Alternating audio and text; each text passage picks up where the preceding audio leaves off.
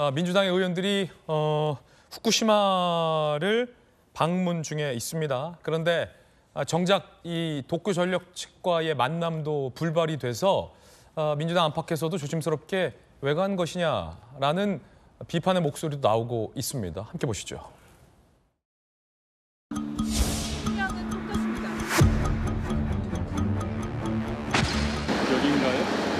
기본적으로 약속이 없으면 네. 안 되는데 확인해 보겠다고.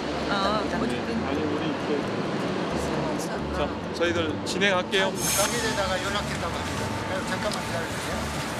나는 이미 했는데 뭐 우리 여기 와서 기다리게 하고 연락 한다는 건 말도 안 밑으로 좀 돼. 밑으로 좀 오늘 저희가 도쿄 전력을 방문을 했습니다. 수차례에 걸쳐서 어, 이번 면담을 요청을 했지만 도쿄 전력이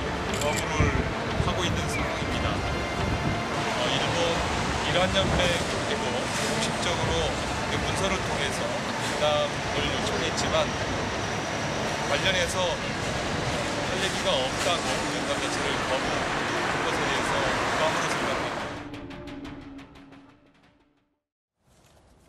결국 별다리 중요한 사람들을 못 만나고 민주당 의원들이 일본에 간 건데 본사를 파악 못해서 목적지를 수정하는 일도 있었다고 합니다.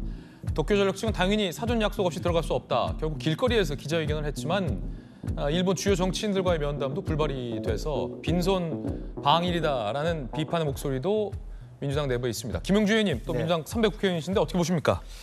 이미 예상된 일이죠. 예. 사실은 아무도 안 만나줄 것으로 예상했고 다만 이제 후쿠시마에 가면 저도 옛날 20, 2000년 초기에는 이미 이제 미국 핵 잠수함이 일본에 들어오는 것까지 방- 감시하는 환경 감시단은 있어요.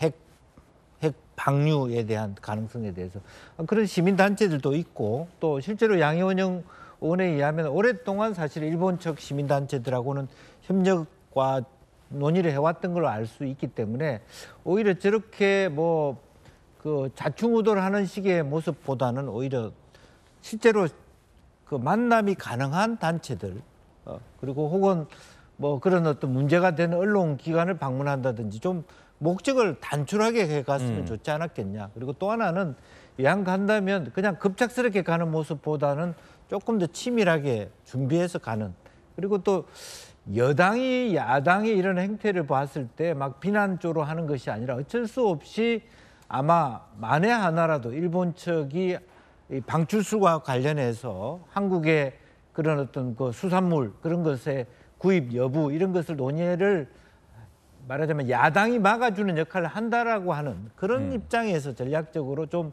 포용적인 어떤 대응을 해줬으면 하는 바람입니다. 예. 저희들은 60초 광고 보고 돌아오겠습니다. 잠시 후에 뵙죠.